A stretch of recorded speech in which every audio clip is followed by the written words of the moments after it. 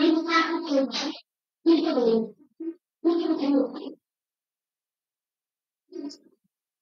everyone, today I'm going to talk about medial cuneiform fracture imaging.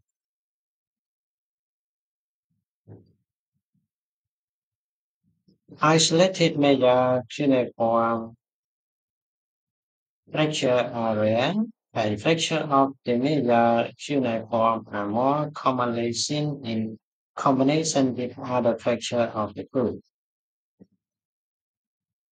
Most commonly, most commonly, fractures of the cuneiform bone occur in combination with other fracture dislocation of the midfoot.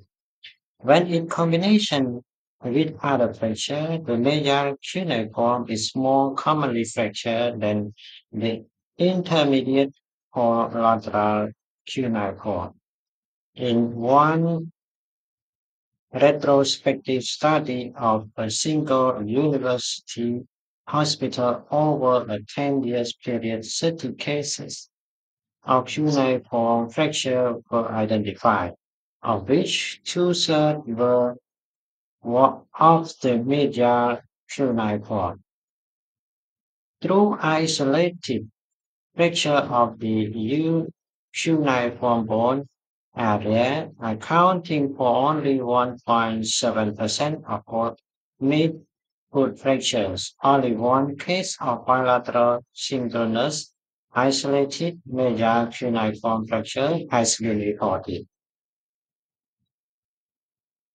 With regards to isolated fracture of the medial cuneiform, and based on the small number of cases in the literature, Patient most commonly present after direct trauma.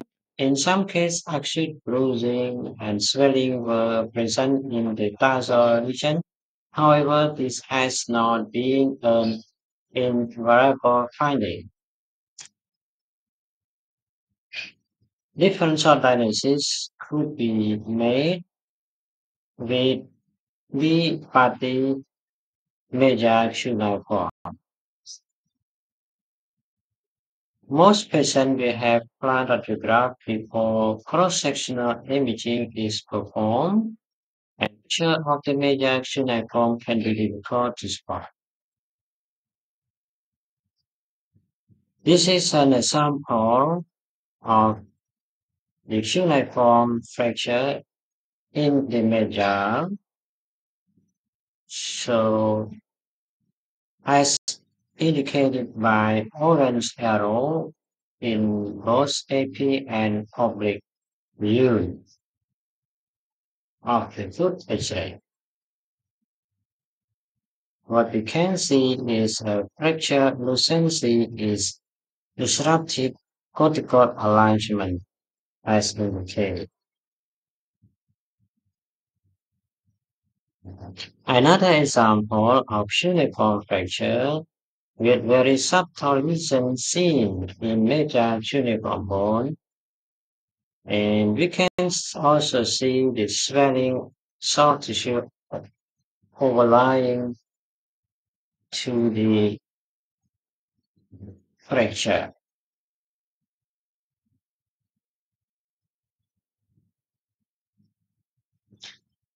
Again, the same patient, but in CT scan, showing minimally displaced fracture in the inferior aspect of the medial cuneiform bone.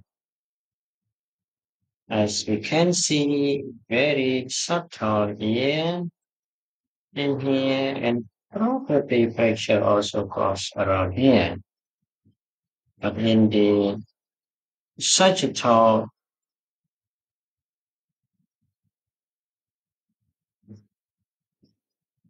In the mid image, we can see very clearly the fracture line, lucency, attenuation, it is the fracture line. And also in the right image, of the CT of the cuneiform bone, we can see curvilinear fracture line across the interior aspect of the cuneiform bone.